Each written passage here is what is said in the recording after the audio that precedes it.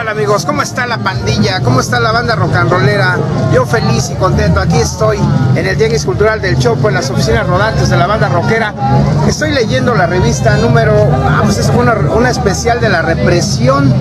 De la represión en México. Esta salió en 1989. Cubrió el concierto de Black Sabbath.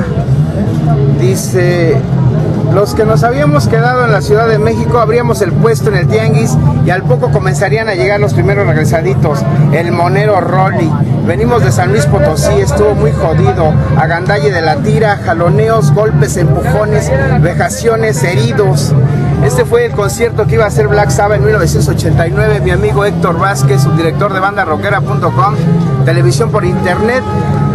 Fuimos al concierto, ahora viene Black Sabbath en octubre, Black Sabbath, y, y, ya no hay esa represión, nos da muchísimo gusto.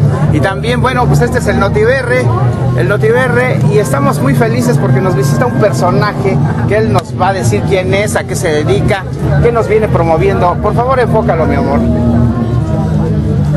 Sí, brother, ¿quién eres tú? Hola, buenas tardes. Me llamo Said y tengo la distribuidora Casero Records en el espacio Narcopunk.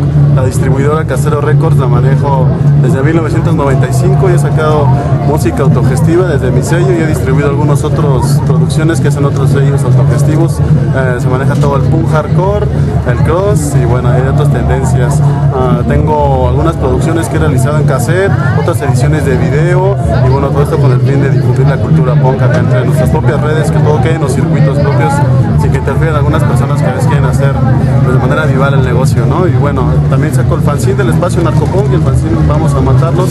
Este proyecto lo inicié en Puebla, ahora vivo en el DF y bueno, aquí llevo unos años y bueno, estoy aquí para... Bienvenido a la Ciudad de México. ¿Qué nos vienes a promover? A ver, dinos. Traigo ahorita el disco de una banda que se llama Herc. Son unos chicos argentinos que tocan hardcore punk al estilo Los Crudos. Vinieron a hacer gira en México el mes pasado, ellos pagaron toda su gira. Aquí salen los logos que participamos apoyándoles y, y, bueno, los chicos todos lo hicieron con colectivos autogestionarios de cada ciudad y fueron desde Tijuana a Orizaba. Se aventaron un mes de gira como las viejas, como las viejas bandas que visitan todas las ciudades de calor y pagando sus propios camiones. Casi como el tren. ¿Qué más nos traes? Algunos viniles por los que quieran acompañarnos allá atrás en el espacio Narcopunk. Viniles de Cross. Hola. Ediciones nuevas, ediciones viejas, todo punk hardcore. Entonces, para cuando quieran, allá estamos latino, inglés, mexicano, tijuanero, poblano. Bien.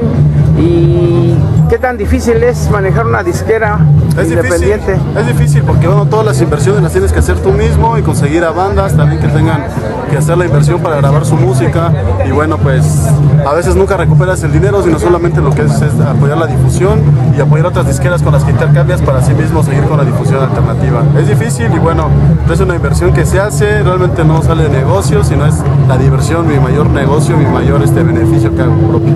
Dinos otra vez tu nombre. Me llamo Said.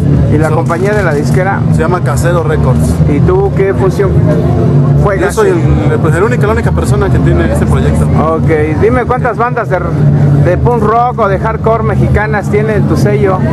Uh, de punk solamente tres. Boicot de Puebla, Lupulum eh, y Verbal Desecretion de Tijuana. También estamos por sacar a Podrido de Hidalgo, que es una banda de grind. Y bueno, estamos viendo si sacamos Sarcasmo, unas tradiciones y así van saliendo poco a poco muchas. Dame un teléfono de la compañía o tuyo. Te voy a pasar en mi email, no tengo teléfono. Es casero records, así como suena de casa, arroba hotmail.com. Bien, pues ya te escucharon aquí. ¿Algo más que desees agregar? Nada, saludos a Banda Rockera. Uh -huh. Conozcan su proyecto. Gracias.